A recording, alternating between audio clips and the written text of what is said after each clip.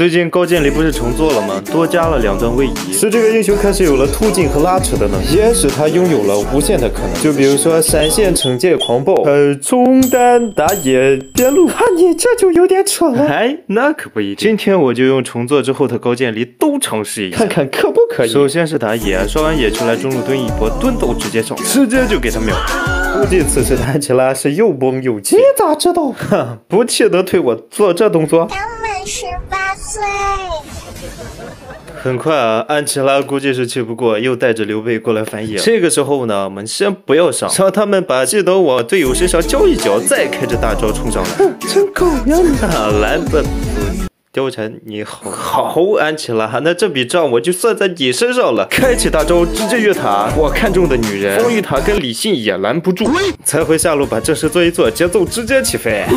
再给你们看一下我摇滚少年的拉扯能力。这里刘备绕后，我们开启大招，一个二一滑铲拉开距离。刘备自知追不上我，放弃了。李信还在苦苦追赶，快追上了，再来一个二一滑铲拉开距离，回头强化普库，直接拿下。回到线上，同样的分路，同样的角色，只不过这一次。的我更加强大，不需要队友也直接拿捏。而比打野拉扯能力更强的，自然就是中单法王高渐离。看到机会直接二闪，大招打满伤害一技能收割，小滚兽也好帅呆了。而比刚才更帅的是，我身边还多了一个朵莉亚，这也就代表着我将会有两个大招。试问谁？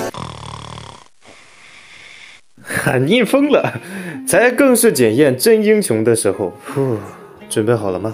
我来了！二闪接一，开启大招，瞬间爆炸。然后朵莉亚给了我第二个大招，开启大招带走王咒。还有一个射手跟跟屁虫似的在后面求追。我等一下二一技能，然后回头配合赶来的镜，直接拿下。不，翻盘就是这么简单，仅仅需要这么两波就可以拿下水晶。接下来就到了万众瞩目的边路时刻了，开启狂暴，谁都不爱。嗯，从哪里跌倒就从哪里站起来，哪怕再多一个人又如何？反正我们多两个人，拿下哈！不知不觉连杠四了，而尽管这样，我依然可以两军从中取射手首级，暴打云鹰，